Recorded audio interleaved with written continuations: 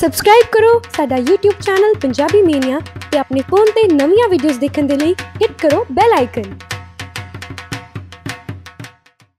ਸਤਿ ਸ਼੍ਰੀ ਅਕਾਲ ਜੀ ਪੰਜਾਬੀ ਮੀਡੀਆ ਦੇਖ ਰਹੇ ਸਾਰੇ ਦਰਸ਼ਕਾਂ ਨੂੰ ਮੇਰੇ ਵੱਲੋਂ ਪਿਆਰ ਭਰੀ ਸਤਿ ਸ਼੍ਰੀ ਅਕਾਲ ਅੱਜ ਆਪਣੀ ਬਾਲੀਵੁੱਡ ਇੰਡਸਟਰੀ ਲਈ ਨਾ ਬਹੁਤ ਹੀ ਵੱਡਾ ਦਿਨ ਹੈ ਕਿਉਂਕਿ ਗਿੱਪੀ ਗਰੇਵਾਲ ਤੇ ਉਹਨਾਂ ਦੀ ਟੀਮ ਨੇ ਨਾ ਅੱਜ ਇੱਕ ਨਵਾਂ ਟ੍ਰੈਂਡ ਇੱਥੇ ਸ਼ੁਰੂ ਕੀਤਾ ਹੈ ਤੇ ਉਹ ਟ੍ਰੈਂਡ ਹੈਗਾ 뮤직 ਲਾਂਚ ਦਾ ਇੱਕ ਬਹੁਤ ਹੀ ਵਧੀਆ ਤਾਜ ਚੰਡੀਗੜ੍ਹ ਤਾਜ ਹੋਟਲ 'ਚ ਪਾਰਟੀ ਰੱਖੀ ਗਈ ਹੈ ਇਸ 뮤직 ਲਾਂਚ ਦੀ ਤੇ ਆਪਾਂ ਵੀ ਉੱਥੇ ਪਹੁੰਚ ਗਏ ਆ ਆਓ ਹੁਣ ਰੈੱਡ ਕਾਰਪੇਟ ਦੇ ਆਉਣ ਵਾਲੀ ਸੈਲੀਬ੍ਰਿਟੀਜ਼ ਦੀ ਵੇਟ ਕਰਦੇ ਆ ਤੇ ਇਹਨਾਂ ਤੁਹਾਡੇ ਨਾਲ ਗੱਲਾਂ ਬਾਤਾਂ ਕਰਦੇ ਆ ਇਹਨਾਂ ਨਾਲ ਬਾਲੀਵੁੱਡ ਇੰਡਸਟਰੀ 'ਚ ਹਰ ਇੱਕ ਨਵਾਂ ਟ੍ਰੈਂਡ ਨਾ ਤੁਸੀਂ ਸ਼ੁਰੂ ਕਰ ਦਿਓ ਤੇ ਅੱਜ ਇਹ ਟ੍ਰੈਂਡ ਵੀ ਰੈੱਡ ਕਾਰਪੇਟ ਦਾ ਤੁਸੀਂ ਸ਼ੁਰੂ ਕੀਤਾ ਹੈ ਆਈਡੀਆ ਕਿੱਥੋਂ ਆਇਆ ਜੀ ਸੀ ਐਕਚੁਅਲੀ ਆਈਡੀਆ ਤਾਂ ਮ, ਇਹ ਇਸ ਤਰ੍ਹਾਂ ਆਇਆ ਜੀ ਕਿਉਂਕਿ ਇਸ ਫਿਲਮ ਦਾ 뮤직 ਮੈਨੂੰ ਬੜਾ ਡਿਜ਼ਰਵਿੰਗ ਲੱਗਦਾ ਸੀਗਾ ਬੜੇ ਟਾਈਮ ਬਾਅਦ ਕੋਈ ਇਦਾਂ ਦਾ 뮤직 ਆਇਆ ਜਿਹਨੂੰ ਮੈਂ ਖੁਦ ਸੁਣ ਕੇ ਬੜਾ ਖੁਸ਼ ਹਾਂ ਗਾਣਿਆਂ ਨੂੰ ਸੁਣ ਕੇ ਬੜਾ ਖੁਸ਼ ਹਾਂ ਮੈਨੂੰ ਇਦਾਂ ਲੱਗਦਾ ਕਿ ਯਾਰ ਫਿਲਮ ਦੇ ਹਿਸਾਬ ਨਾਲ ਗਾਣੇ ਬਣੇ ਨੇ ਜਦੋਂ ਫਿਲਮ 'ਚ ਗਾਣੇ ਚੱਲਦੇ ਨੇ ਤਾਂ ਸਾਡੀ ਕਹਾਣੀ ਚੱਲਦੀ ਹੈ ਹਨਾ ਸੋ ਕਹਾਣੀ ਦੇ ਨਾਲ ਗਾਣੇ ਬਣਾਏ ਗਏ ਸੋ ਮੈਨੂੰ ਲੱਗਦਾ ਸੀ ਕਿ ਇਸ 뮤직 ਲਾਂਚ ਨੂੰ ਪ੍ਰੋਪਰ ਡਿਜ਼ਰਵਿੰਗ ਤਰੀਕੇ ਨਾਲ ਲਾਂਚ ਕੀਤਾ ਜਾਵੇ ਸੋ ਫਿਰ ਪਲਾਨ ਕੀਤਾ ਜੀ ਤੁਹਾਡੀ ਇੱਕ ਮੈਨੂੰ ਲਾਈਨ ਹਮੇਸ਼ਾ ਯਾਦ ਰਹਿੰਦੀ ਹੈ ਇੱਕ ਇੰਟਰਵਿਊ 'ਚ ਤੁਸੀਂ ਕਿਹਾ ਸੀਗਾ ਕਿ ਤੁਹਾਡੇ ਗਾਣਿਆਂ ਨੂੰ ਆਡੀਅנס ਨੇ ਹਮੇਸ਼ਾ ਪਿਆਰ ਦਿੱਤਾ ਬਟ ਕਈ ਇਦਾਂ ਦੇ ਗਾਣੇ ਵੀ ਗਏ ਜਿਹਨਾਂ ਨੂੰ ਬਹੁਤ ਵਧੀਆ ਗਾਣੇ ਹੋ ਕੇ ਗੁਰਬਾਣੀ ਨੂੰ ਵੀ ਆਡੀਅנס ਡਿਸਲਾਈਕ ਕੀਤਾ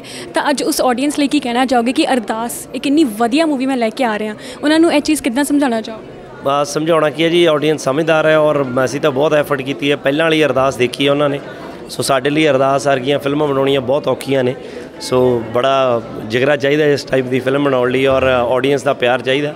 ਔਰ ਮੈਨੂੰ ਉਮੀਦ ਹੈ ਜੀ ਸਾਰੇ ਪਿਆਰ ਦੇਣਗੇ ਔਰ ਦੇਖਣਗੇ ਹੁਣ ਨਵੀਆਂ ਨਵੀਆਂ ਚੀਜ਼ਾਂ ਖੋਲਾਂਗੇ ਜੀ ਅੱਜ hi so finally Sunidhi Chauhan ਅੱਜ ਸਾਡੇ ਰੈੱਡ ਕਾਰਪੇਟ ਤੇ ਪਹੁੰਚੇ ਹੈ पंजाबी में गल करिए कि हिंदी में बात करें अ, मुझे पंजाबी समझ आती है तो हम हिंदी में ही बात करते हैं तो सुनिधि जी पहली बात तो वेलकम आज आप पहली बार प्रेस से मिल रहे हैं यस और मुझे बहुत अच्छा लग रहा है क्योंकि यहाँ आप लोगों से मिलना हो नहीं पाता है अ, गाती मैं रहती हूँ पंजाबी गाने बट आज अ, इतनी भीड़ और इतने अच्छे अच्छे लोग प्यारे लोगों को देखकर अच्छा लग रहा है आपका गाना था हवा विच उड़ती फिर मैं आपकी कॉस्ट्यूम को देख के भी कहूँगी आज हवा विच हम उड़ रहे हैं looking very pretty thank you so much आज आप गिप्पी जी के साथ इस इंडस्ट्री में एक नया ट्रेंड शुरू हुआ है। आज म्यूज़िक लॉन्च का और उसी म्यूज़िक लॉन्च पे आप भी आए हैं। सो so, पहले बात तो ये हमारे लिए भी एक प्राइड की बात है। दूसरी बात आपको कैसा लग रहा है कि आप इस इतने बड़े इवेंट के साथ एसोसिएटेड हैं? गिप्पी जी की टीम के साथ एसोसिएटेड हैं। क्योंकि ये फ़िल्म बहुत स्पेशल है और इसके गाने भी बहुत स्पेशल हैं। मैं आपसे ज़्यादा प्राइड फील कर रही हूँ यहाँ पर प्रेजेंट होकर।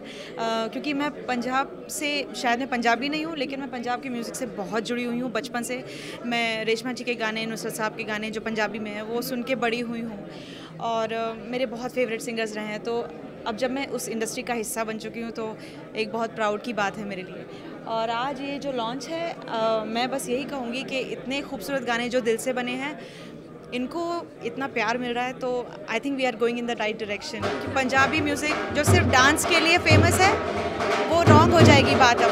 अब जो सोलफुल म्यूज़िक है पंजाब का अ, जो मरासी अंग है जिसको मैं बहुत पसंद करती हूँ मैं सुखविंदर जी की बहुत बड़ी फ़ैन हूँ सरदू सिकंदर जी की बहुत बड़ी फ़ैन हूँ तो वो सब अभी आए और और वो ज़्यादा फेमस हो ये मेरी एक अरदास है thank you so much Sunil ਸਤਿ ਸ਼੍ਰੀ ਅਕਾਲ ਜੀ ਹੈਪੀ ਜੀ ਰੈੱਡ ਕਾਰਪੇਟ ਤੇ ਆਇਓ ਕਿਦਾਂ ਦਾ ਲੱਗ ਰਿਹਾ ਕੀ ਹਾਲ ਨੇ ਸਤਿ ਸ਼੍ਰੀ ਅਕਾਲ ਜੀ ਬਹੁਤ ਵਧੀਆ ਲੱਗ ਰਿਹਾ ਤੁਸੀਂ ਸੁਣਾਓ ਕਿਦਾਂ ਬਹੁਤ ਵਧੀਆ ਜੀ ਪਹਿਲੀ ਗੱਲ ਤਾਂ ਅੱਜ ਇੱਕ ਗੀਤਕਾਰ ਲਈ ਬਹੁਤ ਪ੍ਰਾਊਡ ਮੂਮੈਂਟ ਹੋਏਗਾ ਕਿ ਇੰਡਸਟਰੀ ਤੇ ਇੱਕ ਨਵਾਂ ਟ੍ਰੈਂਡ ਸ਼ੁਰੂ ਹੋਇਆ ਹੈ 뮤직 ਲਾਂਚ ਦਾ ਤਾਂ ਮੈਂ ਸਮਝਦੀ ਹਾਂ ਐਕਟਰਸ ਤੋਂ ਜ਼ਿਆਦਾ ਅੱਜ ਗੀਤਕਾਰ ਖੁਸ਼ ਹੋਣਗੇ ਇਸ ਚੀਜ਼ ਨੂੰ ਠੀਕ ਹੈ ਕਿ ਨਹੀਂ ਬਿਲਕੁਲ ਸਹੀ ਗੱਲ ਹੈ ਜੀ ਬਹੁਤ ਵਧੀਆ। ਮੈਂ ਤਾਂ ਹਮੇਸ਼ਾ ਕਹਿੰਦਾ ਹੁੰਦਾ ਕਿ ਜਦੋਂ ਅਲੱਗ ਤਰੀਕੇ ਦੀਆਂ ਫਿਲਮਾਂ ਬਣਦੀਆਂ ਤੇ ਤੁਹਾਨੂੰ ਅਲੱਗ ਤਰੀਕੇ ਦਾ ਕੰਮ ਕਰਨ ਦਾ ਮੌਕਾ ਮਿਲਦਾ। ਆਮ ਤੌਰ ਤੇ ਤੁਸੀਂ ਸੇਮ ਕੰਮ ਕਰੀ ਜਾਂਦੇ ਸੋ ਬੜਾ ਚੰਗਾ ਤੇ ਅਰਦਾਸ ਦੀ ਗੱਲ ਕਰੀਏ ਨਾ ਅਰਦਾਸ 'ਚ ਇਹ ਕਿਹਾ ਜਾ ਰਿਹਾ ਹੈ ਕਿ ਜੇ ਅਰਦਾਸ ਦੀ ਸਟੋਰੀ ਬਹੁਤ ਵਧੀਆ ਹੈ ਨਾ ਤਾਂ ਅੱਧੀ ਜਾਨ ਨਾ ਹੈਪੀ ਰਾਈ ਕੋਟੀ ਜੀ ਦੇ ਲਫ਼ਜ਼ਾਂ ਨੇ ਪਾਈ ਹੋਈ ਹੈ। ਕਿ ਇਹ ਗੱਲ ਮੈਂ ਕਹਿ ਸਕਦੀ ਹਾਂ ਸਹੀ ਹੈ? ਨਹੀਂ ਇਹ ਬੜੀ ਵੱਡੀ ਗੱਲ ਹੈ ਜੀ। ਵੈਸੇ ਅਰਦਾ ਅਰਦਾਸ ਦਾ ਕੋਈ ਉਹ ਲਫ਼ਜ਼ ਬੋਲੀ ਜਿਹੜੇ ਤੁਸੀਂ ਆਪਣੇ ਗਾਣਾ ਥਰੂ ਕਰੋਗੇ ਮੈਂ ਸੁਣਿਆ ਉਹਦਾ ਕਹਿੰਦੇ ਉਹਦੇ ਅੱਧੀ ਜਾਨ ਉਹਨਾਂ ਨੇ ਪਾਈ ਹੋਈ ਹੈ। ਅਰ- ਅਰਦਾਸ ਕਰ- ਭਾਜੀ ਸਤਿ ਸ਼੍ਰੀ ਅਕਾਲ। ਬਹੁਤ ਅੱਛੀ ਗੱਡ ਕੇ ਗੱਡ ਕੇ। ਸਤਿ ਸ਼੍ਰੀ ਅਕਾਲ ਜੀ ਕੀ ਹਾਲ ਹੈ ਠੀਕ ਹੋ ਜੀ? ਹਾਂਜੀ ਤੇ ਮੈਂ ਮੰਨ ਤੁਸੀਂ ਵੀ ਮੰਨਦੇ ਹੋ ਇਹ ਗੱਲ ਕਿ ਹਾਂ ਤੁਹਾਡੇ ਲਫ਼ਜ਼ਾਂ ਨੇ ਵੀ ਅੱਧੀ ਜਾਨ ਪਾਈ ਹੈ? ਨਹੀਂ, ਮੈਂ ਕੋਸ਼ਿਸ਼ ਕੀਤੀ ਹੈ ਮੈਨੂੰ ਲੱਗਦਾ ਸਾਰਾ ਸਿ- ਸਿਰਾ ਮਾਲਕ ਦੇ ਹੱਥ ਵਸਾ, ਜਿੰਨਾ ਕਰਕੇ ਸਭ ਕੁਝ ਪੋਸੀਬਲ ਹੁੰਦਾ। ਉਹ ਅੱਛਾ ਜੀ, ਮੈਂ ਡਿੱਗ ਪਈ, ਵਾਹਿਗੁਰੂ। ਹਾਂਜੀ, ਤੇ ਇਹ ਨਹੀਂ, ਸਾਰਾ ਸਿਰਾ ਮਾਲਕ ਦੇ ਹੱਥ ਵਸਾ ਜੀ, ਮੈਂ ਤਾਂ ਕੋਸ਼ਿਸ਼ ਕਰ ਸਕਦਾ। ਕੋਸ਼ਿਸ਼ ਕਰਾਉਣ ਵਾਲਾ ਹੀ ਉਹੀ ਆ, ਤੇ ਪਰ ਮੈਨੂੰ ਸੱਚੀ ਦੱਸਾਂ, ਮੈਨੂੰ ਗਾਣੇ ਬੜੇ ਪਸੰਦ ਨੇ। ਜਿੱਦਾਂ ਹੁੰਦਾ ਕਿ ਕਈ ਵਾਰੀ ਤੁਸੀਂ ਕਰਦੇ ਹੋ ਕੰਮ, ਪਰ ਇਹ ਗਾਣੇ ਮੇਰੇ ਦਿਲ ਦੇ ਨੇੜੇ ਆ ਤੇ ਨੇੜੇ ਹੀ ਰਹਿਣਗੇ। ਮੈਂ ਸੋਚਦਾ ਹੁੰਦਾ ਕਿ ਕਈ ਵਾਰੀ ਤੁਹਾਨੂੰ ਲੱਗਦਾ ਕਿ ਆਹ ਗਾਣਾ ਵਧੀਆ ਲਿਖ ਹੋ ਗਿਆ। ਪਰ ਉਸ ਤੋਂ ਬਾਅਦ ਕੋਈ ਚੀਜ਼ ਜਦੋਂ ਹੋਰ ਵਧੀਆ ਬਣਦੀ ਹੈ ਤੇ ਫਿਰ ਹੋਰ ਵੱਡੀ ਖੁਸ਼ੀ ਹੁੰਦੀ ਹੈ ਸੋ ਅਰਦਾਸ ਮੇਰੇ ਲਈ ਉਹ ਚੀਜ਼ ਹੈ ਰੋਮਾਂਟਿਕ ਗਾਣੇ ਕਿ ਅਜਿਹੇ ਗਾਣੇ? ਕਿਹਨਾਂ 'ਚ ਜਲਦੀ ਮਾਈਂਡ ਚੱਲਦਾ? ਸਪਿਰਚੁਅਲ 'ਚ ਕਿ ਰੋਮਾਂਟਿਕ ਨਹੀਂ ਇਹ ਕੋਈ ਹੈ ਨਹੀਂਗਾ ਮੈਨੂੰ ਇਹ ਹੁੰਦਾ ਕਿ ਬਸ ਜਦੋਂ ਕੰਮ ਕਰਨਾ ਉਦੋਂ ਮੂਡ ਕੋਈ ਵੀ ਹੋਵੇ ਪਰ ਕੰਮ ਕਰਨਾ। ਤੇ ਤਾਂ ਹੋ ਹੀ ਨਹੀਂ ਸਕਦਾ ਕਿ ਆਪਾਂ ਬਿਨਾਂ ਦੋ ਲਫ਼ਜ਼ ਜਾਂ ਦੋ ਲਾਈਨਾਂ ਸੁਣ ਤੁਹਾਨੂੰ ਜਾਣਦੀ ਹੈ ਕੁਝ ਵੀ ਤੁਹਾਡਾ ਦਿਲ ਕਰੇ ਅਰਦਾਸ। ਮੈਂ ਅਰਦਾਸ ਹੀ ਕਰ। ਸਭ ਦੇ ਮਨਾਂ ਚੋਂ ਜ਼ਹਿਰ ਮੁੱਕ ਜੇ ਕਿਸੇ ਨੂੰ ਮਿਟਾਉਣ ਦਾ ਕਹਿਰ ਮੁੱਕ ਜੇ ਅਰਦਾਸ ਕਰਾਂ। ਹਾਂ, ਅਰਦਾਸ ਕਰਾਂ। ਹਾਂ, ਅਰਦਾਸ ਕਰਾਂ। ਬਿਲਕੁਲ ਜੀ 올 the very best and congratulations thank you so much okay so Sapna Sapna ਕੋਲ ਆਪਾਂ ਮਿਲ ਚੁੱਕੇ ਹਾਂ ਸਪਨਾ ਤੁਹਾਡੇ ਐਂਟਰੀ ਦੇ ਨਾਲ ਹੀ ਢੋਲ ਧਮਾਕੇ ਬਾਜੇ ਵੱਜ ਰਹੇ and your second picture we are so happy to meet you after so long Thank you. I think we're meeting after a year actually. Actually after Yo, huh? So Sapna ਕਿਦਾਂ ਦਾ ਲੱਗ ਰਿਹਾ ਤੁਹਾਡੀ ਸੈਕੰਡ ਐਂਟਰੀ ਦੇ ਨਾਲ ਬਾਲੀਵੁੱਡ 'ਚ ਵੀ ਇੱਕ ਨਵਾਂ trend ਸ਼ੁਰੂ ਹੋ ਗਿਆ red carpet the proper 뮤직 launch how do you feel about it I, I wasn't expecting this actually. Um, um, I feel it's it's nice. क्यों- होना चाहिए था. Good. I'm glad it's here. Yes. ਸਪਨਾ ਅਰਦਾਸ 2 ਇੱਕ ਬਹੁਤ ਹੀ ਜ਼ਿਆਦਾ ਐਂਟੀਸਿਪੇਟਡ ਤੇ ਬਹੁਤ ਹੀ ਐਕਸਪੈਕਟਡ ਮੂਵੀ ਹੈ ਲੋਕੀ ਇਹਦੇ ਤੋਂ ਬਹੁਤ ਕੁਝ ਐਕਸਪੈਕਟ ਕਰ ਰਹੇ ਹੋ ਤੁਸੀਂ ਪਰਸਨਲੀ ਕਿੰਨਾ ਕੁ ਐਕਸਪੈਕਟ ਕਰ ਰਹੇ ਹੋ ਅਰਦਾਸ 2 I'm expecting a lot from this film. Um, that's ਬਹੁਤ ਹੀ ਵਧੀਆ ਮੂਵੀ ਹੈ ਤਾਂ ਮੂਵੀ ਦਾ ਮੈਸੇਜ ਉਸ ਤੋਂ ਵੀ ਜ਼ਿਆਦਾ ਵਧੀਆ so I am I am hoping ਕਿ ਜਿਹੜਾ ਮੈਸੇਜ ਹੈ ਉਹ ਸਾਰਿਆਂ ਨੂੰ ਰੀਚ ਕਰੇ and ਸਾਰੇ ਮੈਸੇਜ ਨੂੰ ਸਮਝਣ um, and that's the beauty of this film. So we are expecting that this message reaches everybody. ਤੇ ਮੈਸੇਜ ਦੀ ਗੱਲ ਕਰੀਏ ਨਾ ਤੇ ਇੱਕ ਲਵ ਸਟੋਰੀ ਤੇ ਕਾਮੇਡੀ ਚ ਉਹਨਾਂ ਚੋਂ ਮੈਸੇਜ ਆਉਣਾ ਈਜ਼ੀ ਹੁੰਦਾ ਇਦਾਂ ਦੀ ਮੂਵੀਜ਼ ਚ ਆਡੀਅנס ਨੂੰ ਐਗਜ਼ੈਕਟ ਮੈਸੇਜ ਡਿਲੀਵਰ ਕਰਨਾ ਥੋੜਾ ਡਿਫਿਕਲਟ ਹੁੰਦਾ ਤੁਹਾਨੂੰ ਕੀ ਲੱਗਦਾ ਕਿ ਤੁਹਾਡੀ ਜੇ ਤੁਸੀਂ ਪੂਰੀ ਫਿਲਮ ਚ ਨਾਲ ਰਹੇ ਹੋ ਐਕਟਿੰਗ ਪ੍ਰੋਪਰ ਇੰਨੀ ਵੱਡੀ ਟੀਮ ਸੀਗੇ ਇੰਨੇ ਵਧੀਆ ਆਰਟਿਸਟ ਸੀਗੇ ਵਾਟ ਡੂ ਯੂ ਥਿੰਕ ਕਿ ਇਸ ਫਿਲਮ ਦੇ ਦੌਰਾਨ ਆਡੀਅנס ਕਿੰਨਾ ਕਿ ਇਨਫਲੂਐਂਸ ਹੋਏਗੀ ਕਿੰਨਾ ਕਿ ਨਹੀਂ ਹੋਊ? ਵੈਲ ਇਸ ਫਿਲਮ ਦੇ ਡਾਇਰੈਕਟਰ ਹੈਗੇ Gippy Grewal ji. So I'm sure you can understand what you can expect he is so talented ਤਾਂ ਉਹਨਾਂ ਨੇ ਫਿਲਮ ਵੀ ਉੱਦਾਂ ਹੀ ਬਣਾਈ ਹੈ and Sapna the second time you're working with the same team is the third time also going to be the same? Third time ਵੀ ਤੁਸੀਂ ਇਸੇ ਟੀਮ ਨਾਲ ਕੰਮ ਕਰਦੇ ਦੇਖੋਗੇ ਸਾਨੂੰ? ਆਈ ਹੋਪ ਸੋ ਇਹਨਾਂ ਨੂੰ ਪੁੱਛ ਲਿਓ ਆਪਾਂ ਪੁੱਛਾਂਗੇ thank you so much and all the very thank you so much thank you ਜੀ ਕੀ ਹਾਲ ਹੈ? ਮੈਂ ਕਿਰਪਾ ਜੀ ਮੇਰੇ ਸਾਂਝ ਅੱਜ ਰੈੱਡ ਕਾਰਪੇਟ ਤੇ ਆਏ ਹੋ ਇੰਡਸਟਰੀ 'ਚ ਨਵਾਂ ਟ੍ਰੈਂਡ ਸੈੱਟ ਹੋਇਆ ਕਿਵੇਂ ਲੱਗ ਰਿਹਾ ਬਹੁਤ ਬਹੁਤ ਬਹੁਤ ਇਹ ਮੇ- ਮੇਰੇ ਸਾਂਝ ਦੀ ਬਹੁਤ ਕਿਰਪਾ ਤੇ ਇਹ ਸੋਚ ਸਾਰਾ ਸ਼੍ਰੇਅ ਐਕਚੁਅਲ ਦੇ ਵਿੱਚ ਗਿੱਪੀ ਗਰੇਵਾਲ ਜੀ ਨੂੰ ਜਾਂਦਾ ਜਿਨ੍ਹਾਂ ਦੀ ਸੋਚ ਕਿ ਆਪਾਂ 뮤직 ਲਾਂਚ ਕਰਨਾ ਅਸੀਂ 뮤직 ਪੰਜਾਬੀ ਹਮੇਸ਼ਾ 뮤직 ਨਾਲ ਪਛਾਣਿਆ ਜਾਂਦਾ ਫਿਲਮਾਂ ਸਾਡੇ, ਇਹ ਸਭ ਤੋਂ ਵੱਡਾ ਸਮਾਂ ਆਇਆ ਪੰਜਾਬੀ ਫਿਲਮ ਇੰਡਸਟਰੀ ਦਾ, ਜਿਹਦਾ ਅਸੀਂ ਬਹੁਤ ਸ਼ੁਕਰਗੁਜ਼ਾਰ ਪਰਮਾਤਮਾ ਦੇ, ਸਭ ਤੋਂ ਅੱਛੇ ਟਾਈਮ 'ਚ ਸਾਨੂੰ ਕੰਮ ਕਰਨ ਦਾ ਮੌਕਾ ਮਿਲ ਰਿਹਾ ਤੇ ਕੋਸ਼ਿਸ਼ ਕੀਤੀ ਕਿ ਇੱਕ ਅੱਛਾ 뮤직 ਕਰ ਸਕੀਏ 뮤지컬 ਕੰਮ ਕਰ ਸਕੀਏ। ਉਹਦੇ 'ਚ ਸਾਡੇ ਡਾਇਰੈਕਟਰ ਗਿੱਪੀ ਗਰੇਵਾਲ ਪ੍ਰੋਡਿਊਸਰ ਇਹਨਾਂ ਨੇ ਸਾਡੇ ਮੇਰੇ ਤੋਂ ਮੇਰੇ ਤੋਂ ਕੀ ਸਾਰਿਆਂ ਤੋਂ ਬੜੇ ਪ੍ਰੇਮ ਨਾਲ ਔਰ ਬੜੇ ਫ੍ਰੀडम ਦੇ ਕੇ ਕੰਮ ਕੀਤਾ ਔਰ ਆਪਣੇ ਤਰੀਕੇ ਨਾਲ ਕੰਮ ਲਿਆ। ਹਾਂਜੀ। ਤੇ ਸ਼ਾਹ ਜੀ, ਇੱਕ ਸਵਾਲ ਮੈਂ ਪੁੱਛਾਂਗੀ। ਗਿੱਪੀ ਜੀ ਨਾ ਇੱਕ ਗੱਲ ਕਹਿ ਰਹੇ ਸੀ ਸਾਨੂੰ। ਕਹਿੰਦੇ ਕਿ ਗਾਣਿਆਂ ਦੀ ਗੱਲ ਜੇ ਮੈਂ ਉਹ ਪੰਜਾਬੀ ਆਡੀਅנס ਦੀ ਕਰਾਂ ਨਾ, ਕਹਿੰਦੇ ਮੈਂ ਇੱਕ ਬਾਣੀ ਗੁਰਬਾਣੀ ਜੀ ਵੀ ਕੱਢੀ ਉਹਨਾਂ ਨੂੰ, ਉਹਨੂੰ ਵੀ ਰਿਲੀਜ਼ ਕੀਤੀ ਸੀ। ਉਹਦੇ ਤੇ ਵੀ ਆਡੀਅנס ਨੇ ਡਿਸਲਾਈਕ ਪਾਤੇ ਸੀਗੇ ਕਿ ਸਾਡੀ ਪੰਜਾਬ ਦੀ ਆਡੀਅנס ਇੰਨੀ ਮਿਕਸਡ ਹੈ। ਤੇ ਅਰਦਾਸ ਟੂ ਅਰਦਾਸ ਕਰਾਂ ਹੁਣ ਜਿਹੜੀ ਫਿਲਮ ਆ ਰਹੀ ਹੈ ਨਾ, ਇਹ ਵੀ ਇੱਕ ਅਜਿਹਾ ਪਲਾਟ ਹੈ ਕਿ ਜਿਹੜਾ ਆਡੀਅנס ਲਵ ਸਟੋਰੀ ਤੇ ਕਾਮੇਡੀ ਤੇ ਸਮਝ ਆਉਂਦੀ ਹੈ। ਬਟ ਇਦਾਂ ਦਾ ਪਲਾਟ ਆਡੀਅנס ਕਈ ਵਾਰ ਸਮਝ ਨਹੀਂ ਪਾਉਂਦੀ ਤੇ ਕਈ ਵਾਰ ਇਦਾਂ 뮤직 ਨਾਲ ਵੀ ਹੁੰਦਾ ਹੈ ਕਿ ਆਡੀਅנס ਬਹੁਤ ਵਧੀਆ 뮤직 ਨੂੰ ਵੀ ਡਿਸਲਾਈਕ ਮਾਰ ਦਿੰਦੇ ਤੁਹਾਨੂੰ ਕੀ ਲੱਗਦਾ ਕਿਤੇ ਕਮੀ ਕਰ ਜਾਂਦੀ ਆਡੀਅנס ਸਮਝਣ 'ਚ? ਟਰਸਟ ਮੀ ਮੈਂ ਮੈਂ ਇਸ ਕਰਕੇ ਨਹੀਂ, ਮੈਂ ਬਹੁਤ ਮੈਂ ਬਹੁਤ ਘੱਟ ਬੋਲ ਪਾਣਾ ਮੈਂ ਐਕਸਾਈਟਡ ਨਹੀਂ, ਮੈਂ ਥੋੜਾ ਸਹਿਮ ਜਾਣਾ ਜਦੋਂ ਕੁਝ ਹੁੰਦਾ ਅੱਛਾ ਹੁੰਦਾ, ਜ਼ਿੰਦਗੀ 'ਚ ਜਾਂ ਕੁਝ ਮੈਂ ਸੰਜੀਦਾ ਇਨਸਾਨ ਬਟ ਇੱਕ ਸੱਚਾਈ ਆ, ਇਹ ਫਿਲਮ ਜਿੱਦਣ ਆਏਗੀ, ਜਦੋਂ 19 ਜੁਲਾਈ ਨੂੰ ਰਿਲੀਜ਼ ਹੋਏਗੀ ਆਡੀਅנס ਔਰ ਟ੍ਰੇਡ ਵੀ, ਇਹ ਦੇਖੇਗਾ ਕਿ ਇਹ ਬਹੁਤ ਹੀ ਡਿਟੇਲ ਦੇ ਵਿੱਚ ਇੱਕ ਇੱਕ ਇੱਕ ਜਰਨੀ ਜਿਹੜੀ ਹੈ ਨਾ ਇਹ ਪੰਜਾਬੀ ਇਤਿਹਾਸ ਦੀ ਅੱਜ ਤੱਕ ਦੀ ਮੈਨੂੰ ਮੇਰੀ ਫੇਵਰਿਟ ਫਿਲਮ ਹੈ।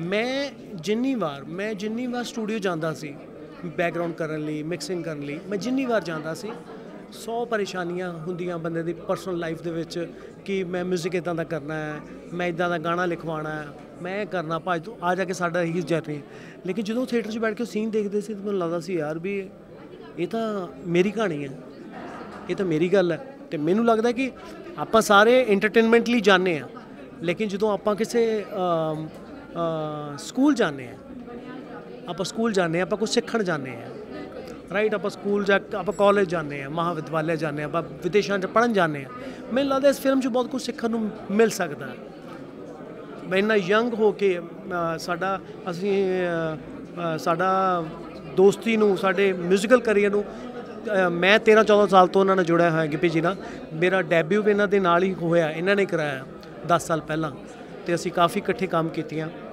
ਲੇਕਿਨ ਇਹ ਫਿਲਮ ਕਰਕੇ ਮੇਰੀ ਮੇਰੀ ਨਜ਼ਰ 'ਚ ਰਿਸਪੈਕਟ ਬਹੁਤ ਵੱਧ ਗਈ ਕਿ ਵੀ ਬੰਦੇ ਦੀ ਐਸੀ ਸੋਚ ਫਿਲਮ ਨੂੰ ਲੈ ਕੇ 뮤직 ਨੂੰ ਲੈ ਕੇ ਬਹੁਤ ਖੂਬਸੂਰਤ ਕੰਮ ਕੀਤਾ ਹੈ।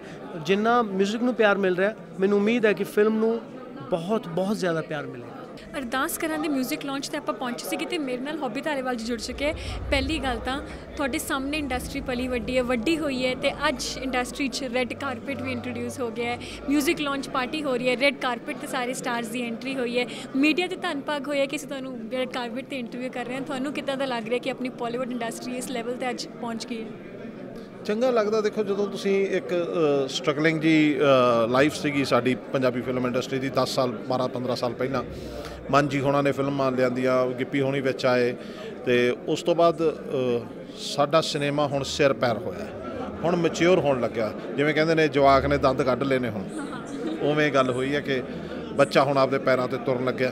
ਅਜੇ ਤਾਂ ਦਿੱਲੀ ਬਹੁਤ ਦੂਰ ਹੈ। ਸੋ, ਪਰ ਮਾਣ ਹੈ ਕਿ ਅਸੀਂ ਬਹੁਤ ਛੇਤੀ ਬਹੁਤ ਚੰਗਾ ਸਿਨੇਮਾ ਲੈ ਕੇ ਆਏ ਹਾਂ ਮਿਊਜ਼ਿਕ ਲਾਂਚ ਹੈ ਮਿਊਜ਼ਿਕ ਦੀ ਗੱਲ ਕਰਾਂਗੇ ਸੁਨਿਧੀ ਚੌਹਾਨ ਜੀ ਦਾ ਇੰਨਾ ਪਿਆਰਾ ਸਤਿਗੁਰ ਪਿਆਰੇ ਗਾਣਾ ਹੈ।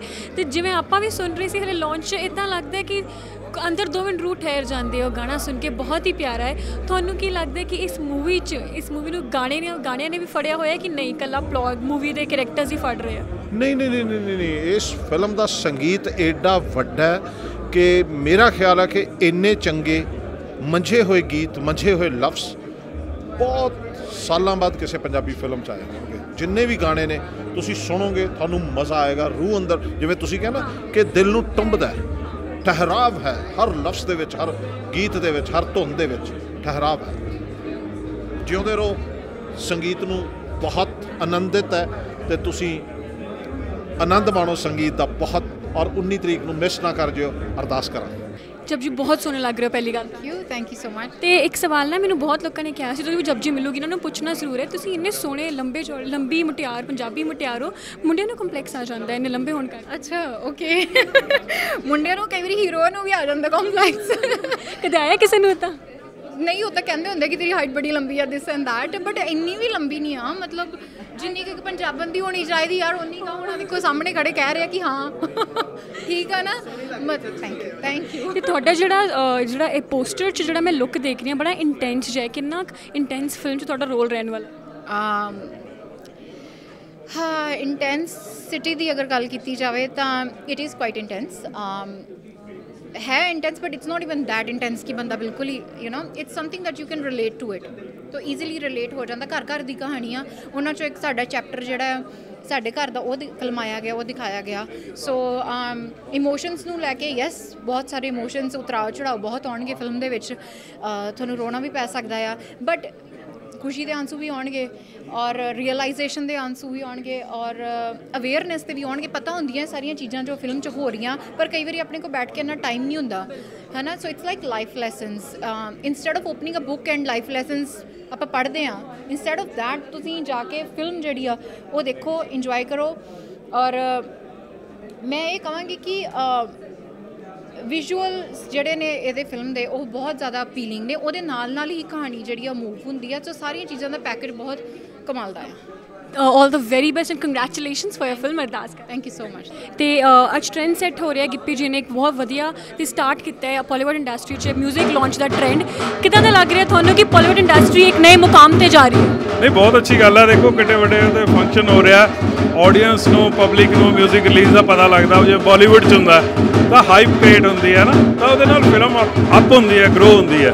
ਤਾਂ ਅਸੀਂ ਸਾਰਿਆਂ ਵਾਸਤੇ ਕਰਾਂਗੇ ਕਿ ਆਉਣ ਵਾਲੇ ਜਿਹੜੇ ਟ੍ਰੈਂਡਸ ਨੇ ਗਿੱਪੀ ਹਮੇਸ਼ਾ ਨਵੇਂ-ਨਵੇਂ ਟ੍ਰੈਂਡ ਚਲਾਉਂਦਾ ਤਾਂ ਇਹ ਵੀ ਵਧੀਆ। ਅੱਗੇ ਅਸੀਂ ਵੀ ਫੋਲੋ ਕਰਾਂਗੇ। ਬਹੁਤ ਸੋਹਣੇ ਲੱਗ ਰਹੇ ਹੋ ਤੁਸੀਂ। ਥੈਂਕ ਯੂ ਸੋ ਮਚ ਤੁਸੀਂ ਵੀ ਬਹੁਤ ਸੋਹਣੇ ਥੈਂਕ ਯੂ ਸੋ ਮਚ ਜੀ। ਅੱਜ ਆਪਣੀ ਇੰਡਸਟਰੀ 'ਚ ਇੱਕ ਨਵਾਂ ਟ੍ਰੈਂਡ ਸ਼ੁਰੂ ਹੋਇਆ red carpet the. So how is it walking the red carpet ਬਹੁਤ ਵਧੀਆ ਲੱਗ ਰਿਹਾ ਹੈ। ਮੈਂ ਹਮੇਸ਼ਾ ਕਹਿੰਦੀ ਹੁੰਦੀ ਹਾਂ ਕਿ ਗਿੱਪੀ ਜੀ ਕੁਝ ਅਲੱਗ ਕਰਦੇ ਹੁੰਦੇ ਤੇ ਇਹਨਾਂ ਨੇ 뮤직 ਲਾਂਚ ਦਾ ਵੀ ਬੜਾ ਵਧੀਆ ਤਰੀਕਾ ਉਹ ਕੀਤਾ ਤੇ ਮੈਂ ਉਮੀਦ ਕਰਦੀ ਹਾਂ ਜਿਵੇਂ ਫਸਟ ਰਹੀ ਆ ਉਵੇਂ ਸੈਕੰਡ ਹਿੱਟ ਹੋਊਗੀ। ਤੇ ਤੁਸੀਂ ਬਹੁਤ ਟਾਈਪ ਦੇ ਇਮੋਸ਼ਨਸ ਔਨ ਸਕਰੀਨ ਪਲੇ ਕਰ ਚੁੱਕੇ ਹੋ ਲਵ ਹੋਗੀ ਕਾਮੇਡੀ ਹੋਗੀ।